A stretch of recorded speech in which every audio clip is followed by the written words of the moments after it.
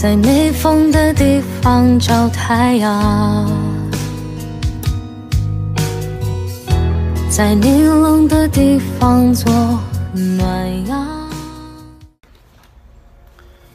大家好，今天是二零二零年十二月二号，星期一啊。啊，这个董明，我现在看的这个董明珠的这本《骑行天下》是董明珠小董明珠女士自己撰写的。他自己写的话，他这个过程当中发生一些个什么事情，有哪些个经验，呃，哪些个经历，以及如何怎样思考的内心的这些反应变化，都是最真实的。所以有时候我们选书的时候，还是应该看一下个作者，啊，有的一些个都是有的一些个写的一些个名人传记啊，他是一些个旁人第三方的角度来进行审视，有好多内容他写的并不真实，啊，也不生动。啊，你像我读的这边读完这个《骑行天下》里边很多的词汇，哎，用的写的非常的激烈，能看出来他的董明珠内心的这些个变化，啊，情感上的变化，当然也能也能感受到董明珠对于事业的那种执着的追求。当然，这其中好多的文字，我想应该是后期有个相关的一些个作者或者是出版社进行一些个润色，但是并不影响这本书整体上所要表达的那种思想，好吧？呃，那看完这本书之后，我简单的罗列了这么几点，呃，是我对这本书最总结吧，也是我应该学习的地方，能够都当从中学到了一些个什么样的内容。这第一点，嗯，就是不管是创业也好，工作也好，呃，要想要想有成长，就要每天都会遇到问题，遇到新的问题，想办法去解决这些新的问题，你才有可能去成长，这是毋庸置疑的。啊，第二点，无论是创业也好，还是做生意也好，啊，都要从最基层的开始做起，啊，就是销售或者是一些最简单的工作，你需要的是要有卓越和创新的思维。你有了这些思维，也许它会让你这些个工作做起来会更顺利、更快速。第三点，第三点就是不要老是强调客观原因。客观原因，如果主观你意志足够坚定的话，这些客观原因都是可以改变的。第四，嗯，你要学会调查，摸清市场，摸清消费的一些个情况，在这些都熟悉的情况之上，你才可以做决定。就像毛主席有一篇文章，就是没有调查，你就没有发言权。啊，第五，做生意你是要跑市场的。要和人去打交道和接触，要学会社交，怎么样去谈话，怎么样去切中要点，怎么样和别人去沟通，怎么样去引起别人的注意，啊，相反，我们在这个现在有好这这个，比如说现在某宝啊，或者是说网上任何电子平台啊，我们在网上都靠的是一些个流量，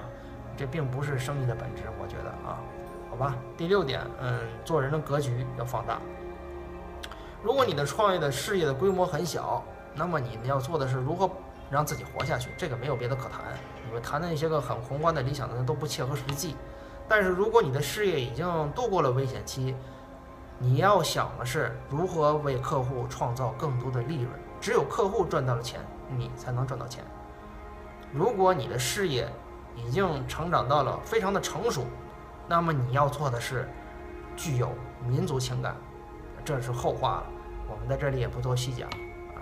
第七点，我觉得是做人要有原则，原则很重要。你其他的事情你可以变通啊，但是原则是不能改变的。做事业有的时候和做人是一样的，做企业也要讲原则，这和稻盛和夫的想法也都是不变的。比如说，企业一定要讲诚信呐，啊，这个比较企企业一定要谦虚礼让啊，让别人先过呀，等等等等，让别人去发展呐，这个钱让别人去赚呐，等等等等，这些东西。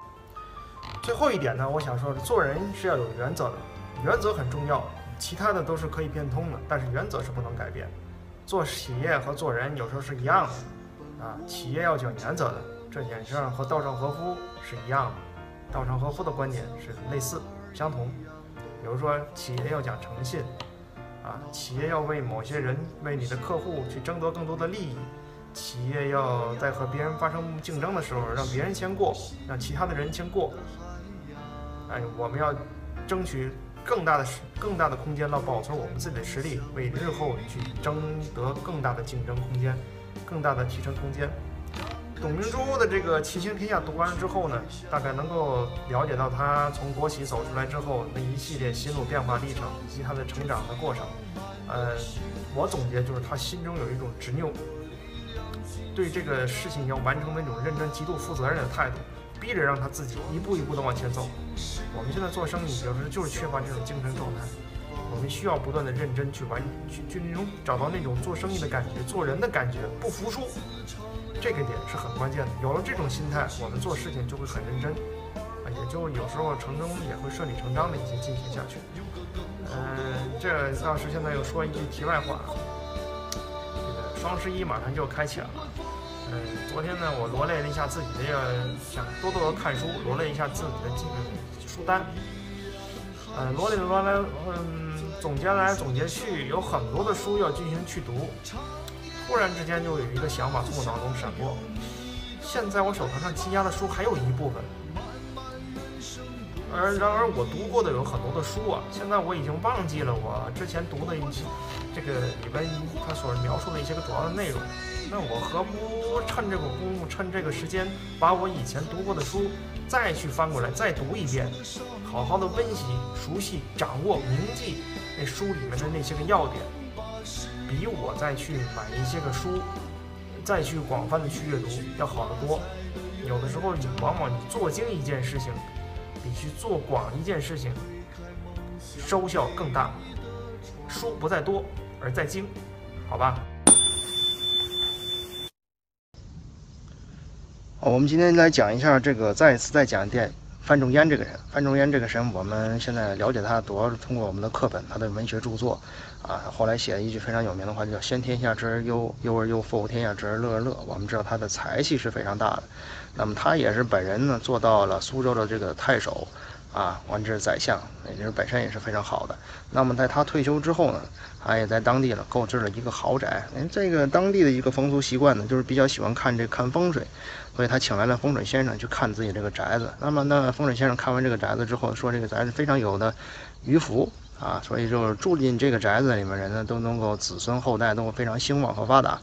所以他就把这个宅子呢改成了一个书院和学堂，那就让更多的人子孙到这个宅子里去享受他的余福。这就是我们后来苏州的这个景泰中学的这个一个雏形吧，啊，他最早的一个样子。当然，他的后代也是受了他自己的这种影响，也是非常深的。他的后代在路上遇到了他自己的父亲先前的一个旧友，也是乐山好师，不断的给予他的救助啊，使这个家族的这个传传承啊不断的延续下去。